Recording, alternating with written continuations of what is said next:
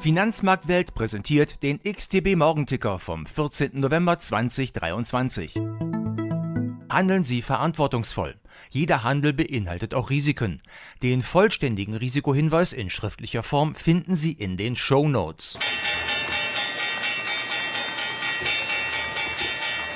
Die Wall Street Indizes starteten den gestrigen Handelstag aufgrund der von Moody's veröffentlichten Herabstufung des US-Kreditausblicks etwas niedriger, obwohl die Kreditbewertung weiterhin bei AAA bleibt.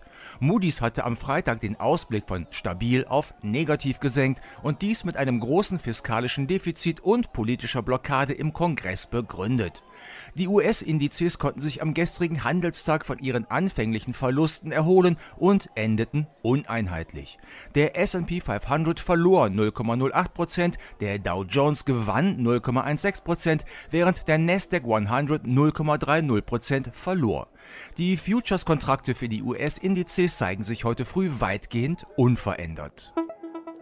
An den europäischen Märkten handelten die Indizes gestern höher, wobei der deutsche DAX um 0,73% stieg, der französische CAC 40 um 0,6% zulegte, der britische FTSE 100 um 0,9% stieg und der italienische FTSE MIB um fast 1,5% zulegte.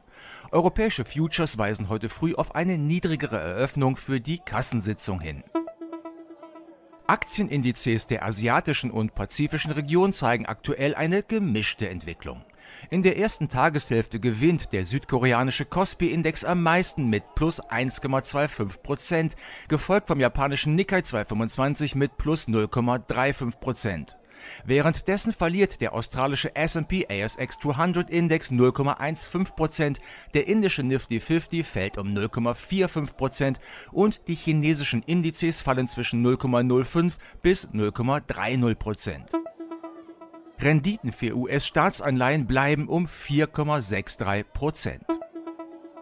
Eine Prognose von Goldman Sachs sagt einen langsamen Rückgang der Inflation in Australien und Neuseeland auf unter 3,0 Prozent im vierten Quartal 2024 voraus. Goldman Sachs geht davon aus, dass die Reserve Bank of Australia ihre restriktive Politik bis dahin fortsetzen wird. Der Federal Reserve Notenbanker Barr sagt, die im März beobachteten Spannungen im Bankensystem haben nachgelassen und das Bankensystem befindet sich in einer guten Liquiditätslage.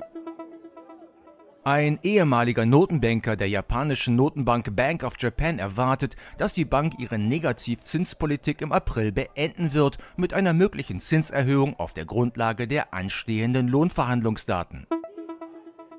US-Finanzministerin Janet Yellen war nicht einverstanden mit der Entscheidung von Moody's, das Rating der USA auf einen negativen Ausblick herabzustufen. Sie warnte außerdem vor den Herausforderungen, die mit höheren Zinssätzen verbunden sind, einschließlich des Schuldendienstes und einer möglichen Schließung von Regierungsaktivitäten. Der japanische Finanzminister Suzuki gab eine subtile verbale Intervention zum japanischen Yen ab. Er erklärte sich bereit, auf dem Devisenmarkt zu intervenieren, um den Yen zu stabilisieren und die übermäßige Volatilität einzudämmen. Er erkannte sowohl die positiven als auch die negativen Auswirkungen einer schwächeren Währung an.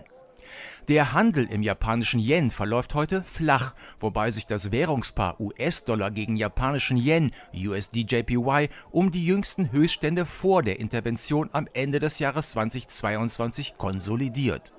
Es ist jedoch festzustellen, dass solche Niveaus weder bei der Regierung noch bei den Anlegern eine entscheidende Reaktion hervorrufen.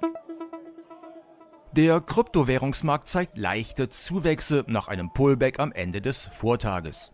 Bitcoin steigt um 0,55% auf 36.600 US-Dollar und Ethereum steigt um 0,40% auf 2060 US-Dollar. Heute um 14.30 Uhr deutscher Zeit werden in den USA die Verbraucherpreise für Oktober gemeldet. Das wird das Top-Event des Tages für die Märkte.